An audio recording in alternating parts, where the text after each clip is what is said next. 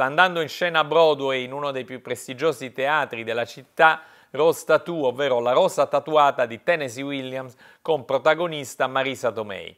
Uno spettacolo che delude anche se la Tomei è in realtà bravissima. Ma facciamo prima un po' di cronostoria, cerchiamo di capire cos'è Rose Tattoo.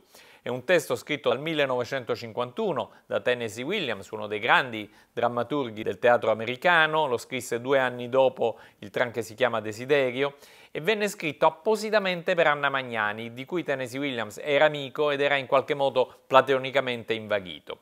La Magnani non era in grado di recitare sul palcoscenico in inglese, quindi si decise di farne un film e l'accordo fu che lo stesso Williams scrivesse la sceneggiatura e tutti i dialoghi.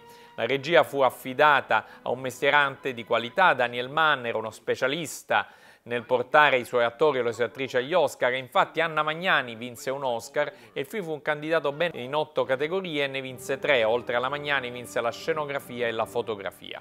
Il film non è eccezionale, come non è eccezionale la commedia che tuttavia ripropone alcuni degli elementi classici del teatro di Tennessee Williams, a cominciare dall'ambientazione nel sud, qui siamo nel Mississippi, e un'atmosfera torbida, dove la sensualità, l'attrazione anche erotica gioca un elemento molto forte. La storia è quella di una donna chiamata Serafina delle Rose, il nome indica che è un'italiana che vive appunto nel sud degli Stati Uniti, che rimane improvvisamente vedova e scopre a poco a poco che il marito aveva un amante. Eh, mentre gli viene rivelato in maniera anche volgare, in maniera plateale questa relazione o queste relazioni adulterine del marito, comincia a essere corteggiata da un uomo che si chiama Alvaro Mangiacavallo.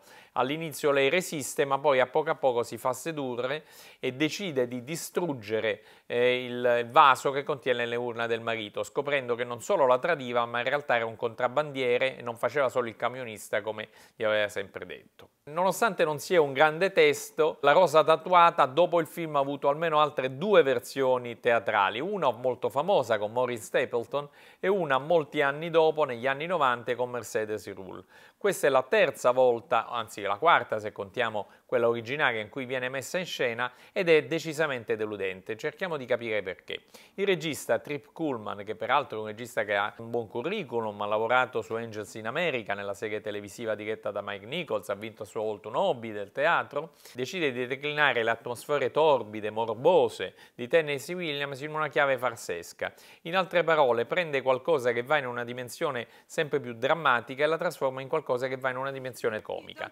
Noi sappiamo bene che delle volte la tragedia, se spinta all'estremo, diventa farsa, ma non è questo l'intento di Kuhlman. Lui gioca sugli stereotipi degli italo-americani, molte volte con degli effetti kitsch. In tutto ciò però bisogna dire che ci sono almeno due elementi di valore, una scenografia un po' cervellotica ma efficace e soprattutto Marisa Tomei che conferma di avere un autentico talento. What does it mean? La Tomei ha vinto un Oscar con mio cugino Vincenzo e poi è stata candidata per altre due volte.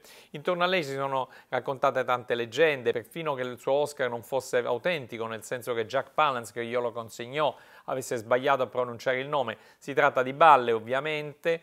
Certo che fu una sorpresa quando lei lo vinse, perché quell'anno erano candidate almeno due grandissime attrici, Vanessa Redgrave, Judy Davis, ma c'era anche John Plovright.